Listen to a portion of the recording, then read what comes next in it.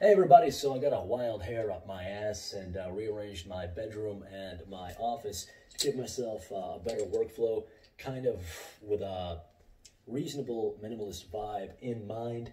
Still have some, you know, stuff to do to finish up, but I have to keep producing these videos. I have to keep producing content, so I'm to do that.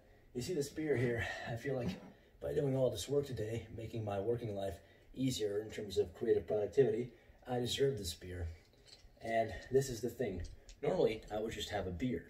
And I'm going to continue to normally kind of have a beer more or less. But sometimes you need to limit and restrict things and only give them to yourself as a reward for something. There's a concept that comes from a blogger called Mr. Money Mustache, and he calls it hedonic adaptation.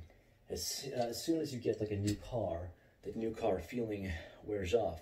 And the same thing as like if you just keep on giving yourself stuff willy-nilly, the magic of it wears off. And one way to get it back is by making yourself work for the reward. It's a simple concept, kind of uh, tied together in an interesting little bit of uh, phraseology. Let's head on over to the office, shall we? I don't want to. I don't want to have to edit this because I don't have time. So that's why I didn't do like a jump cut thing there. Right. Welcome, welcome. I've got my Korg LP 350, 360, 380. I'm not sure which behind me. It needs to be fixed. It needed to be fixed for a long time now.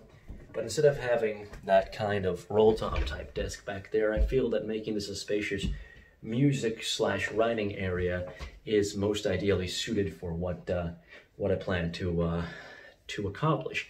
But the thing about this LP380 is it's, it's great. It's got weighted keys and it only ran to about like nine nine hundred something dollars when when uh, my uh, grandmother bought it for me. And yeah, I just had a lot of fun with it. And as I was actually getting back into pianoing, because it's an off and on thing with me, I'm it's because it's a difficult thing for me, even though I love it.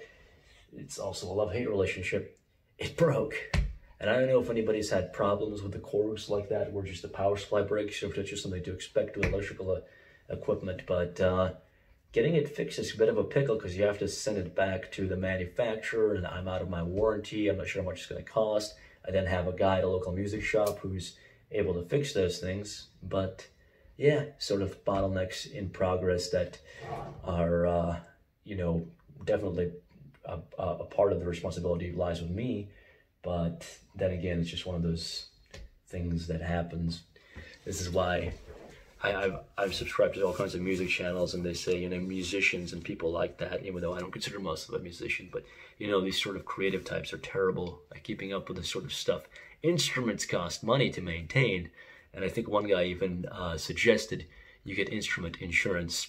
So, what are my topics today besides all of this minutia from my life? Well, um, I passed by the radio. My grandfather listens to conservative talk radio very still because it's just like a station. I think it's 560 or something like that. And it's got Rush Limbaugh on there, who unfortunately now has, I think, lung cancer. Um, I think he smoked cigars. That could be why. But there's there's a number of reasons that could have happened. But today, I, I don't know who exactly was talking. It might have been Glenn Beck. But uh, yeah, this whole thing of participation trophies and uh, you know, they were making fun of liberals for saying everybody's a winner and everybody's special. And if everybody's special, nobody's special. And it's like, they're saying this as if it's some kind of big new observation, but it's kind of a, a hackneyed point by now. And I never really understood it to begin with because it's generally aimed at the millennial generation, the generation that I'm part of.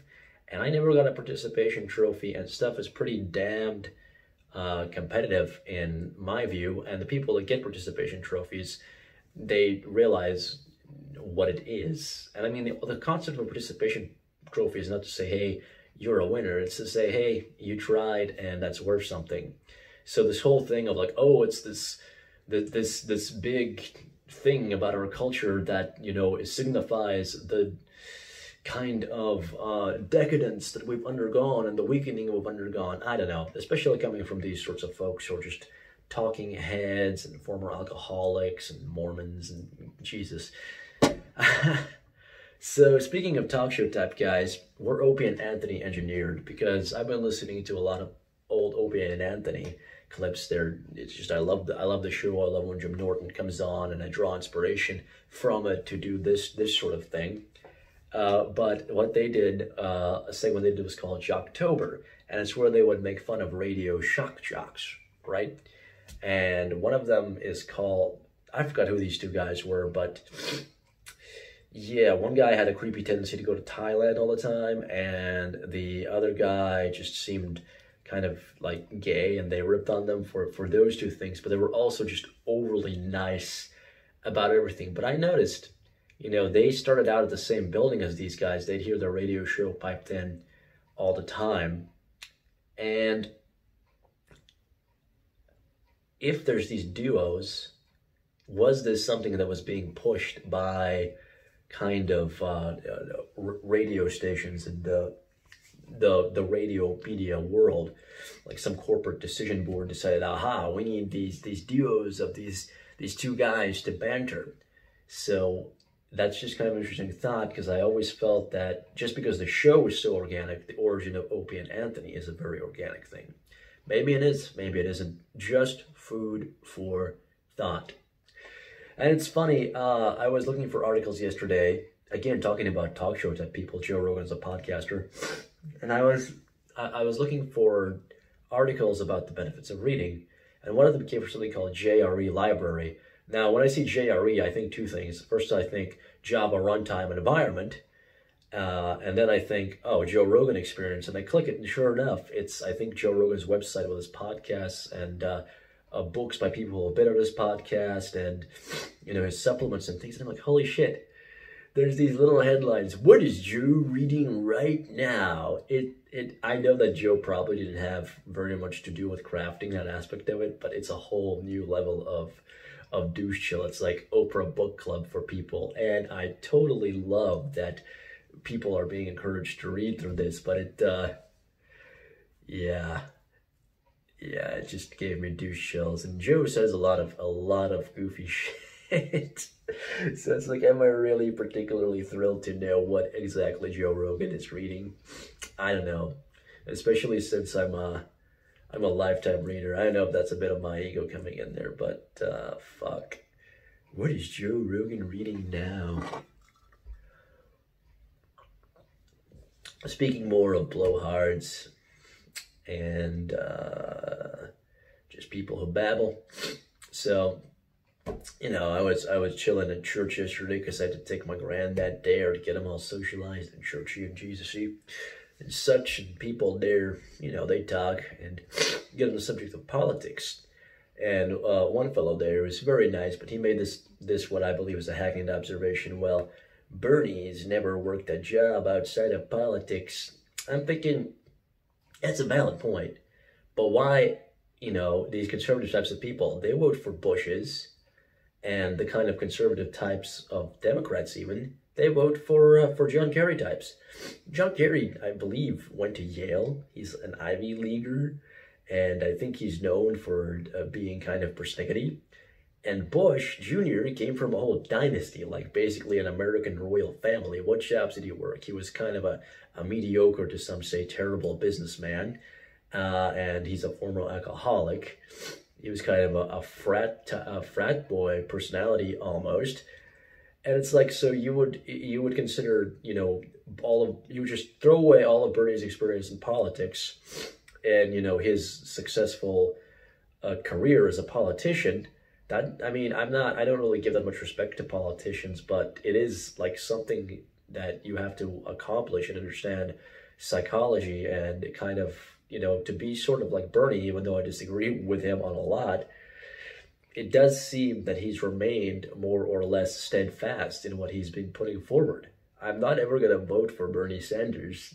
Uh, that's not why I'm defending him. I'm just saying that given this this notion of well, this person is not qualified because they haven't worked in the real world. Well, politics isn't exactly the real world, and the sort of people that we vote for in general don't come from the real world. I mean, Kennedy was part of like a like an Irish mob family, uh, and I think that they they were rich anyway. They're well established kind of Celtic clan, and uh,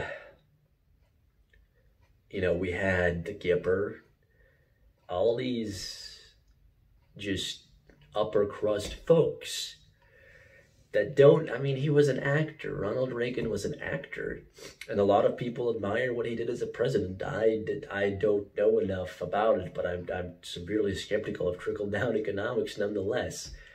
But just the criticisms people make are so surface level. It's like we didn't have any kind of you know good deep discussion not that i really care to it's kind of fun to dip your toes into the water like that, but it's food for thought that this is kind of generally how conversations go. Well, again, apologies, a thousand apologies, Sahib or Sahibin or whatever the friggin' phrase is, Kimosara, Kitosara. There's some kind of phrase that you say, thousand apologies, blah blah. I'll just say a thousand apologies, my liege.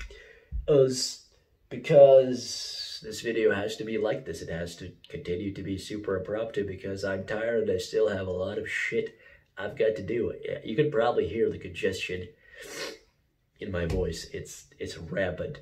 Probably because I got a I got a vacuum.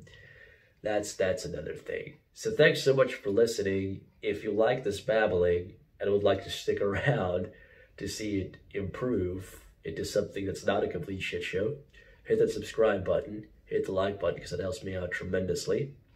Or, you know, call me an asshole. My main website is called fractaljournal.com where you'll find stories, ideas, and more. Take care, everybody.